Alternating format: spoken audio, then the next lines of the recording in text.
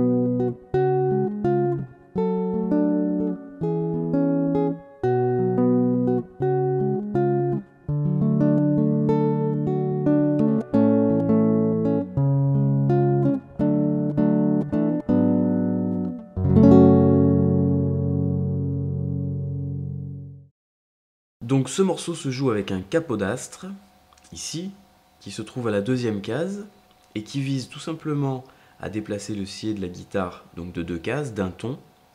Le doigté par rapport aux tablatures ne change pas, on peut jouer le morceau sans capodastre, ce qui aura juste comme incidence de descendre la tonalité un ton plus bas. Voilà comment on installe un capodastre. Celui-ci est un, un capodastre bas de gamme, voilà, il suffit de venir euh, placer la, partie en caoutchouc sur les cordes et de venir clipser derrière. Ni trop fort, ni pas assez. Voici un accord de mi mineur sans capodastre. Le même accord, deux cases après, le capodastre, toujours de mi mineur, qui finalement se transforme en fa dièse mineur. Avant de passer en revue chacun des accords joués, concentrons-nous sur le picking, c'est-à-dire sur le jeu de la main droite et notamment sur les doigts utilisés pour pratiquer ce picking. Donc regardez, vous n'avez qu'un seul accord à jouer à la main gauche qui est indiqué sur la tablature et concentrez-vous sur les doigts de la main droite et essayez de reproduire l'exercice avec évidemment les mêmes doigts utilisés.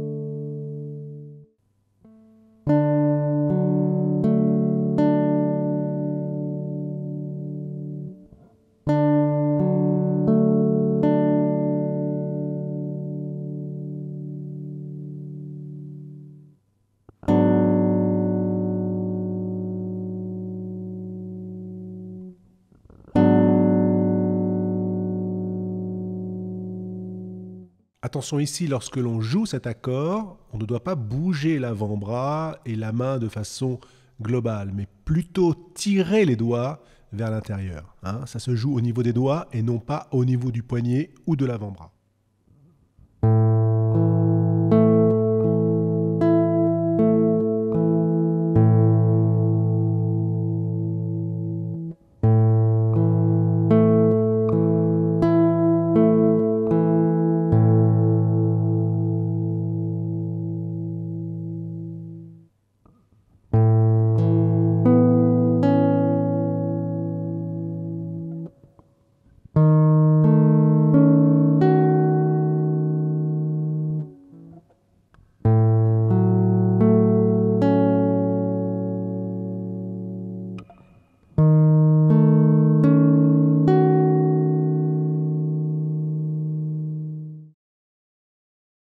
Voyons maintenant le positionnement de chaque accord à la main gauche. Donc évidemment, repérez les doigtés de chacun de ces accords et apprenez à les enchaîner le plus rapidement possible avant de passer au jeu en arpège et au picking.